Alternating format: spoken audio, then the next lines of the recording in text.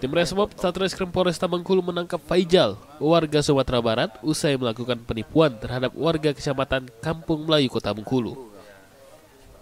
Pelaku melakukan aksi penipuan dengan cara menawarkan bibit unggul ayam petelur dengan harga murah kepada korban melalui media sosial. Korban yang tergiur kemudian mengirimkan sejumlah uang, namun bibit ayam yang dipesan tak kunjung dikirimkan oleh pelaku. Di hadapan polisi, pelaku mengaku sudah beraksi sejak enam bulan terakhir dengan korban berasal dari sejumlah daerah. Aksi penipuan nekat dilakukan lantaran pelaku terlilit utang pinjaman online.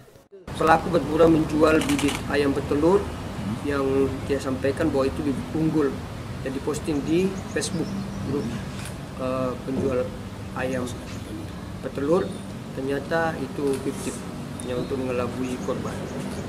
Uh, penyampaian dari pelaku bahwa dia ada utang piutang kita tidak tahu utang piutang apa tetapi kan kita belum dalami itu benar atau tidaknya itu berdasarkan pendalaman nanti dari penyidik yang jelasnya pelaku telah melakukan penipuan kepada korban kegelapan dana yang telah korban kirimkan kepada pelaku.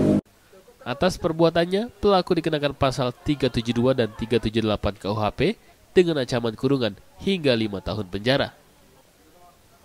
Bayazir Al-Rehan, Kompas TV Bengkulu.